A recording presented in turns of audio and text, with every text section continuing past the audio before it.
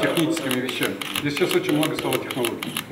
Вопрос значимости практического образования журналиста волнует не только вузы, но и телеканалы. Российский телеведущий и заместитель директора телеканала «Россия» Сергей Брилев прибыл с визитом в Казанский федеральный. В сопровождении ректора КФУ Ильшата Гафурова и генерального директора управляющей компании «Просто молоко» Маратом Муратовым телеведущий посетил студии и ньюсрумы вуза.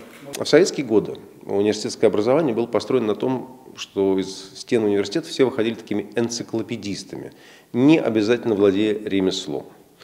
А потом эту систему решили поменять, и в результате мы и, энциклопедист, и энциклопедизм растеряли, и ремеслом людей не снабдили. У вас эта проблема уже решена. В КФУ телеведущий также ознакомился с новым шоурумом универсальной телестудии, оборудованной современной техникой в телеформате 4К. Кстати, аналогов шоурума в Татарстане нет. В этой студии уже прошла тестовая запись ток-шоу в планах съемки программ научно-познавательного формата ТЭД. Во-первых, завидно, потому что в наше время такого не было.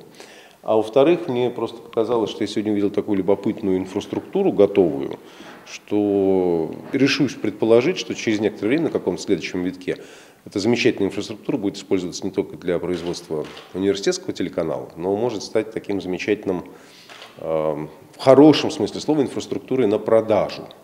Могут приходить какие-то другие вещательные организации и использовать эти студии, эти монтажки. В завершении встречи телеведущий заверил студентов, что скоро приедет в КФУ с мастер-классом или с радостью примет участие в ток-шоу новой студии. Анастасия Иванова, Ленар Давлетьяров, Univer News.